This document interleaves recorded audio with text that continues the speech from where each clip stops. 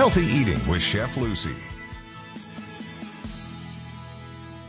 Welcome back. I'm Chef Boyarv with Chef Lucy, and if you're thirsty, then watch and see what we're making. Welcome back, Chef Lucy. Thank you uh, for having me again. And today's recipe, we're gonna make hot cocoa or champurrado.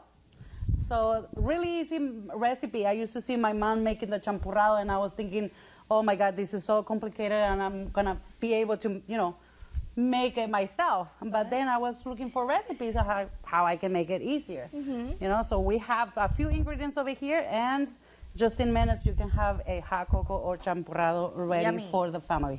All right, we're gonna start over here with the flour. I toasted the flour a little bit just in the pan, and then add the flour, no, no more than just the flour, Okay. until it's like a little dark or golden brown.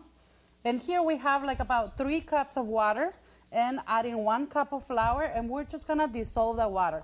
We're gonna make sure the water is cold so we can dissolve all the flour in there. A lot of uh, recipes and they add the flour last, but this one, um, you know, I think is is is easier for me, and I don't have to remember a lot of steps. so this is we just put everything together over here, and we're gonna add our cinnamon stick, and this one is gonna give it a special flavor, star anise here, and you're gonna start smelling these ingredients in a little bit.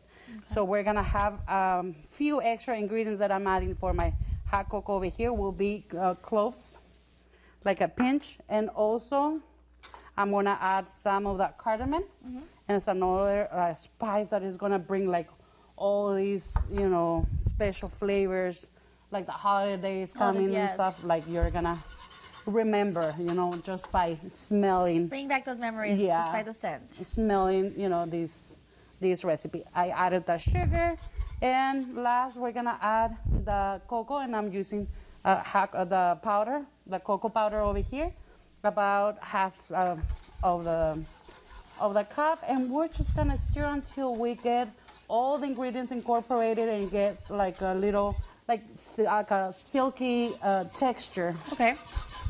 And it's gonna take about 20 to 25 minutes medium heat and we have to stir you know uh, here so it doesn't get it doesn't stick. And lastly we're gonna add milk. The recipe the traditional hot chocolate doesn't go with the milk but we're just gonna add the milk Yes. because we are used to you know? So i'm adding over here evaporated milk half a cup but this is optional See? You think that you can make hot cocoa for the family? Oh, yes. Maybe for me. I don't know about for everyone. Only if they're good. All right, so this is a really easy recipe. It takes just a few minutes. Just gather all the ingredients Okay. and enjoy the holidays. It's perfect for Christmas coming up. Oh, look at this. In, in like a Santa cup. Um, I don't want to burn yeah, you can, myself. ma- you can get like a concha, like a piece of bread, and then you have Ooh, like a it's like- merienda Oh. Ready. My feet up at night watching Elf. it's hot, but it's so good. this is delicious. I'm gonna take this back to my desk for today. Thank you so much, Chef Lucy. And please, please try this at home, especially for during the holiday season and while the kids are on break.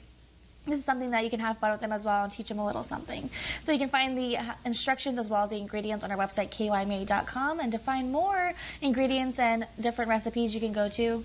Topmeals.com. We'll be right back. Cheers.